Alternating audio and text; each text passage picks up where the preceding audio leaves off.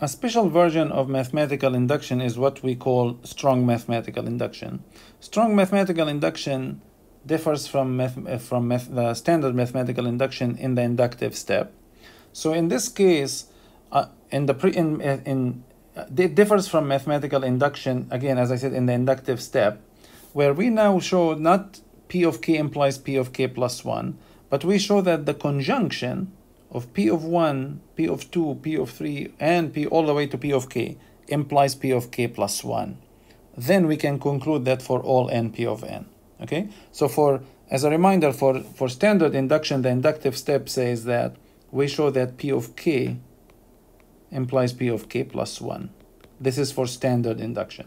Now for strong induction, we are saying that p of 1 and p of 2 and all of all of them all the way to p of k implies p of k plus 1.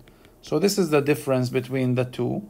And of course, we can prove strong induction using standard induction. So once again, we are not introducing some new logic here. Strong induction is a special case of, of standard induction or, or and vice versa. So we can establish all of them in the same way. So I want to show just an illustration of where strong induction can be helpful over standard induction. So here's a very important result or fundamental result in number theory, which uh, that says that every every number greater than one is either prime or can be written as the product of primes. Okay, so for example, if you look at the number two, it is prime. If you look at the number three, it is prime. If you look at the number four, it is not prime, but it can be written as a product of prime, which is 2 times 2. Okay, so 4 is 2 times 2, both of which are prime. 5 is prime, 6 is not prime, but it can be written as 2 times 3, which basically says it's written as a product of prime. This is a fundamental theorem in number theory, and this is basically what, what says that the prime numbers, the prime numbers are the basic building blocks of all the, the integers or the natural numbers, right? So natural numbers and integers, they can always be written, any number can be written as a product of primes. Because even if the number is prime by itself, then we can say it is a product of primes, which is that number by itself. So why is this true, or how do we prove that this is true? Again, the base case here, please pay attention in this case here. The base case, we are saying that prove that if n is an integer greater than 1, so the base case is not 1, it's the first number greater than 1 here, which is n equal to. So we need to prove that n2 is either prime or product, product of prime. Of course, 2 is prime, therefore P of 2 is true. Okay, because 2 is prime. So the, the inductive step, inductive step, here we want to assume that P of 2 and P of 3 and all the way to P of k is true. We want to assume that this conjunction is true and we want to prove p of k plus 1. Okay, in other words, we want to prove, i.e., we want to prove that k plus 1 is either prime or a product of primes. Okay, there are two cases. So the first case here, let's assume if k plus 1 is prime, then p of k plus 1 is true and we are done right because we want to prove p of k of plus 1 is true if k plus 1 is prime then p of k plus 1 is a true statement but if k if k plus 1 is not prime what does it mean for a number not to be prime? If it's not prime, then it can be written as a product of two numbers, right? So if 16 is not prime, it can be written as 2 times 8. Okay? 90 is not prime. It can be written as 3 times 30 or 45 times 2 and so on. So if k plus 1 is not prime, then there exist two positive integers, let's say, uh, or natural numbers, x and y, both are in natural numbers here, such that both of them are greater than or equal to 2 and k plus 1 equals x times y. right? So if, if k plus 1 is not prime, then it's a product of two numbers, each of which is at least 2. Now, here's where the inductive hypothesis comes into the picture. So x is a number between 2 and k. y is a number between 2 and k. By the inductive hypothesis, by the inductive hypothesis, we know that p of x is true, which means that x is either prime or product of primes.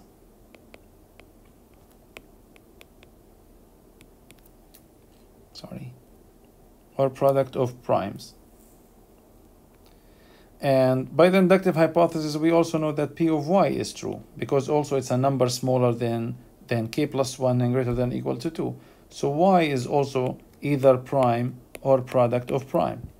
Okay, so if x is prime and y is prime, then look at x times y, which is what k plus 1 is. If x is prime and y is prime, then k plus 1 is a product of prime because it's product of x and y if let's just look at the case where x is a product of primes let's say x equals assume uh, x is a product of primes and they are x1 x2 times xm these are all primes. And suppose y is a product of prime. It's y1 times y2 times all the way to yl then in this case k plus 1 is x1 times x2 times xm times y1 y2 all the way to yl but look at what happens. Uh, k plus 1 is a product of all these numbers from x1 to xm and y1 to yl, all of which are prime. Therefore, k plus 1 is prime. So p of k plus 1 is true. And by strong mathematical induction, we conclude that this statement is true for every n greater than 1, which basically means every number greater than or equal to 2 can be written as product of primes or a prime itself. Okay. Here we needed the strong induction because when I looked at x and y, neither x nor y are the number before k plus 1. So neither of them is really k. Both of them are numbers between k and, and, and 2, and we need to make, an, make use of the fact that p of 2 and p of 3 and p of 4 all the way to p of k are true. We can do another example here. So suppose you we have we have a sequence of numbers that are defined what we call recursively. So here we define a number or values numbers in the sequence in terms of numbers before them, okay? So I tell you that the first number in this sequence is 1, A0 is 1. The second number in the sequence, A1 is 1. But then after that I start defining them. The third element is 2 times the, the second element plus the first element. So if you look at this here, what it is saying, A0 is 1, A1 is 1. What is A2? A2, according to this formula here, is 2 times A1 plus A0. So 2 times 1 plus 1, it's 3. What is A3? It is 2 times A2 plus A1. 2 times 3 is 6, plus 1, it's 7, and so on.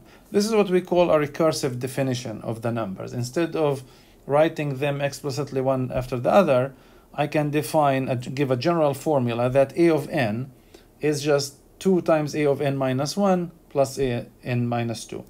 So we want to prove that a of n is odd. If you look at these numbers, odd, odd, odd, odd, and so on. We want to prove that this is odd actually for every n. So the base case here for look at it is for n greater than or equal to 1 so for the base case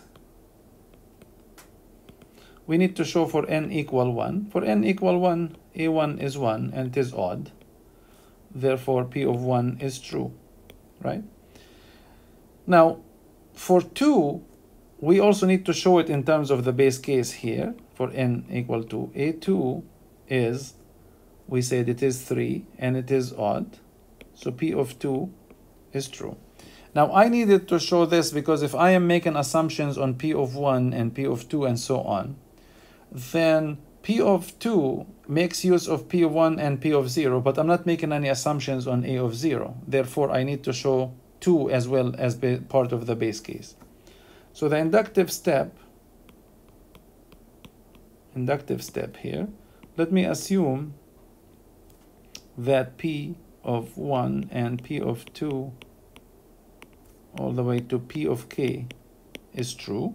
And I want to show, prove that P of K plus 1 is true, right? So what is P of K plus 1? That we want to show that A sub K plus 1 is odd. But what a what is A of K sub uh, A sub K plus 1? It is 2 times A K plus A K minus 1, right? But we know by the inductive hypothesis that A sub K is odd and a sub k minus 1 is odd. Now, this is even because it's 2 times a number. This is even because it's 2 times a number. This is odd by the inductive hypothesis. The inductive hypothesis says that p of k minus 1 is true, which basically means a sub k minus 1 is odd. So we have now a, a sub k plus 1 is even plus odd. If you look at two numbers, one is even, one is odd, their sum is odd. Therefore, P of k plus 1 is true. And by strong mathematical induction, we conclude that actually for every n greater than 1, P of n. Okay? So in this case, I want to emphasize once once more that the base case, we needed to, first, we need to, to show that P of n is true for two values, n equal 1 and n equal 2 as well. Okay? For the inductive step, I assumed P of 1 and P of 2 all the way to P of k are all of them are true. And now I needed to show P of k plus 1. And we needed to use this, this uh, base uh, inductive hypothesis because A of k plus 1 is written in terms of A sub k and A sub k minus 1. But both of them, we can make assumption on them that they are, that, that, uh, they are odd.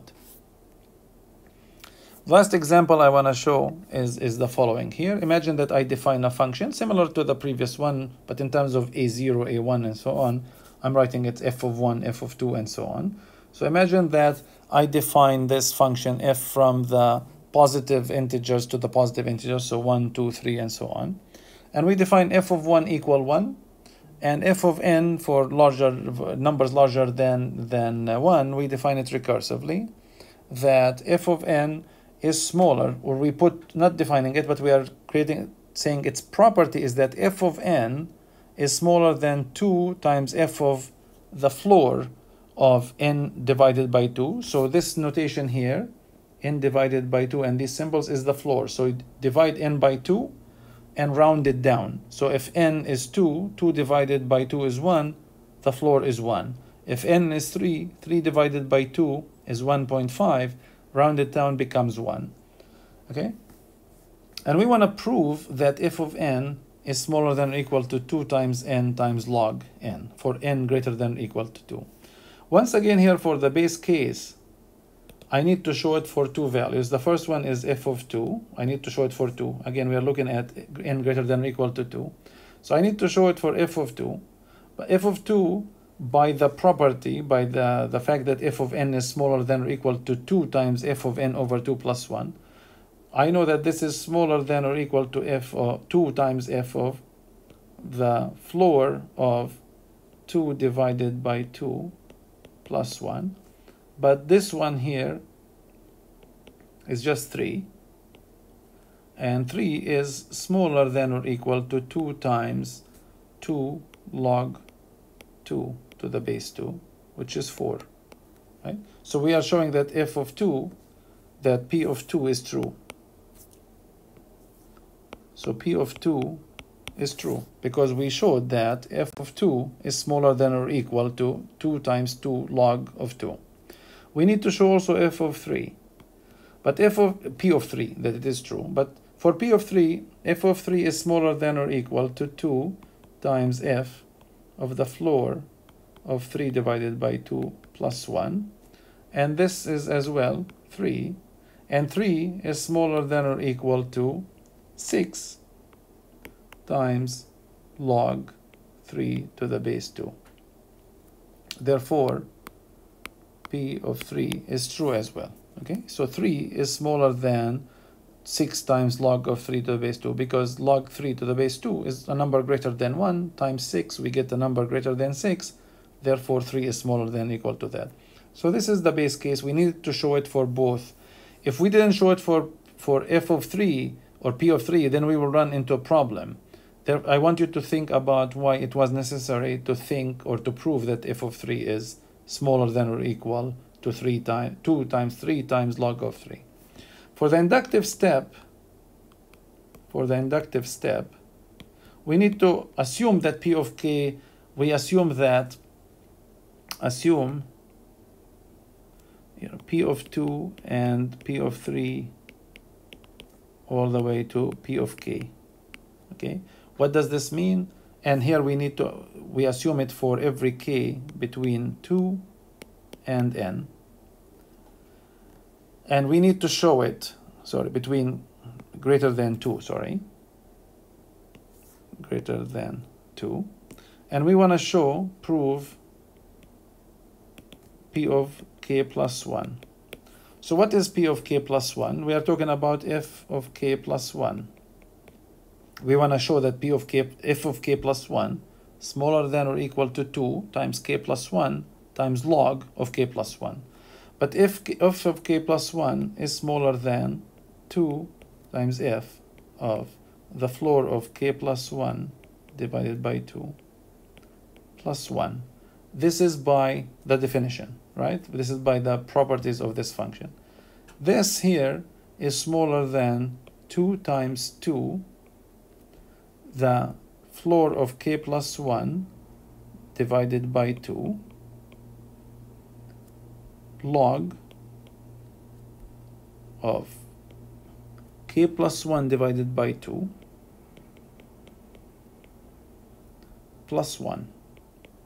Where does this come from? This comes from the inductive hypothesis. We assumed that for k plus 1 divided by 2 is a number smaller than or equal to k plus 1.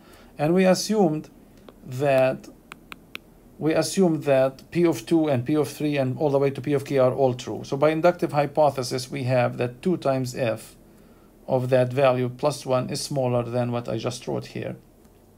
Now this is smaller than 2 times 2 times k plus 1 divided by 2 times log of k plus 1 divided by 2 plus 1. So what happened here? I just got rid of the floor. I replaced it by parentheses in a sense. But why is this true? Because if you think about it, if you think about it, the floor of any number is smaller than or equal to the number itself. Right? So wherever I had the floor of k plus 1 divided by 2, I said, well, this is smaller than or equal to k plus 1 divided by 2. So I removed the floor and I replaced it by just the number itself. In other words, I remove the floor symbol. And if we if we do that, and now basically what we got to is 2 times n plus 1, sorry, k plus 1, 2 times k plus 1, and times log of k plus 1 minus log of 2 and plus 1 here. Okay, where did this the minus come from? If log of a divided by b is log of a minus log of b. Okay?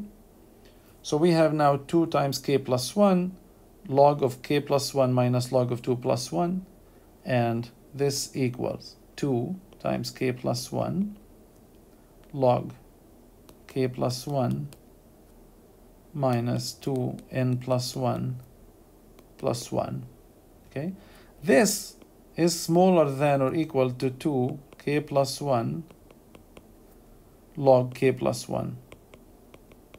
Why? Because this number here is a positive, this number that I will circle in red, this is a positive number, and we have basically 2 times k plus 1 plus log of k plus 1 minus a positive number.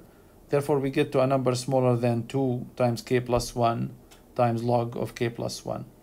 So we have established that P of k plus 1 is true, assuming that P of 2 and P of 3 all the way to P of k is true. So by strong mathematical induction, we have shown that P of n is true for every n.